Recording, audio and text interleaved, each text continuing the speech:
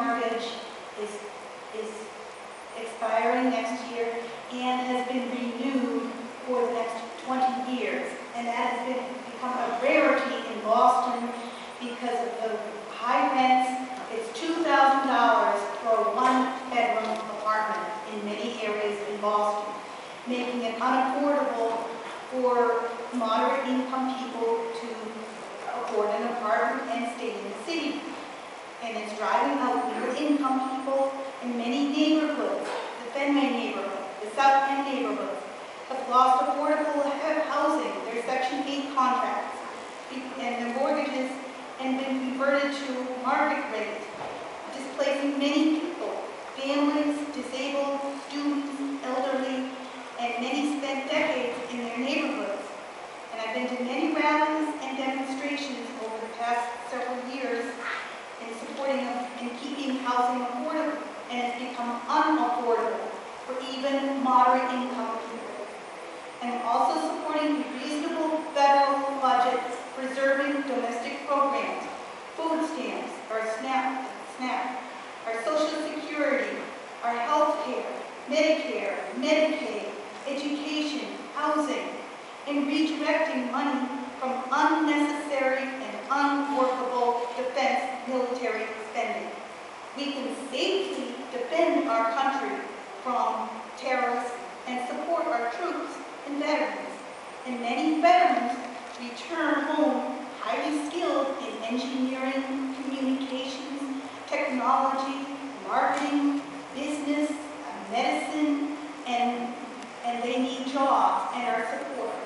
And our military money can also be diverted to support health care needs of our veterans, and many of them suffer from major health issues.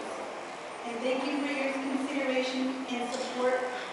And I have this pen that gives a whole defense, and we can safely convert many of our, many of our military money to these domestic programs.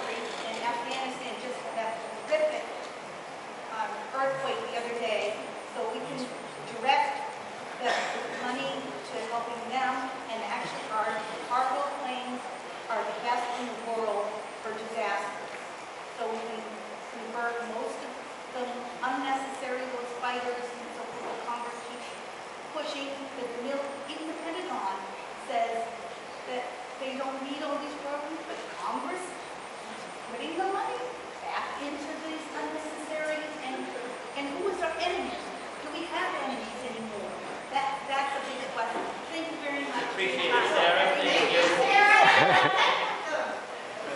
thought we were gonna get the pen.